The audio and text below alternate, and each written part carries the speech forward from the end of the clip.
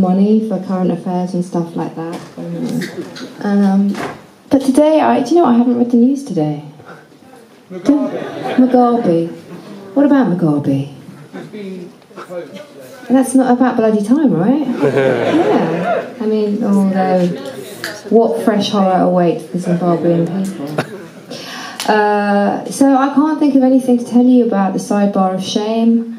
Um, I don't know who's going to be in Celebrity Big Brother. Uh, I don't know, like, what is the news? I mean, who is shagging who? I should know these things. I don't know. Um, who's had a baby? Uh, I, I, don't know these things because uh, I have sworn off the news a bit this year, and I, I feel a bit better for it. But I also feel like, you know, if there is a nuclear bomb, I'll be the last to know. and I'll be standing in the middle of a street in Camden, probably in my pyjamas and slippers, going, What the fuck is this? Where is everybody? I haven't hoovered. I haven't bought enough, you know, canned soup. My husband, the other day, he had a premonition about Nibiru. Nibiru, whatever. He's, uh, he, he's into all that stuff. And uh, he decided he doesn't normally do a shop, but he decided to do a shop. and uh, and when he did the shop, he elected to choose a bagless shop. and he elected to have it delivered when I when I was home and he was not. man knocked at the door and said, "I have a big, I have a big delivery for you." And I thought, "Well, this could be nice. This could be something good." he'd ordered 50 cans of soup. and they were all bagless. and I had to carry them one by one. Then we had a massive argument about it, about soup. this is what happens when you get married, people who are married. You argue about soup. Sorry, just I'd my domestic bliss. Don't order soup, that's all I'm saying. I've sort of killed the vibe, haven't I? It a quality soup? It wasn't a quality soup. No, it wasn't. It wasn't like an Amy's Kitchen or a Taste the Difference. It was a Heinz tomato soup. And I thought, you know what? If the apocalypse apocalypse was to happen and I was to survive, I think faced with endless cans of tomato soup, I would just kill myself. it would be better, wouldn't it? Yes. Soup or death? I would choose death.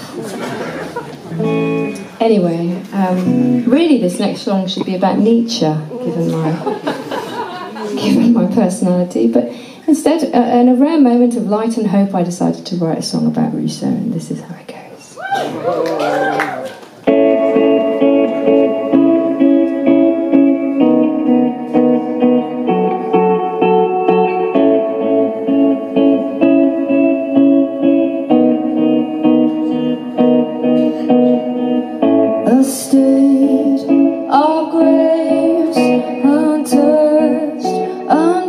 Jesus.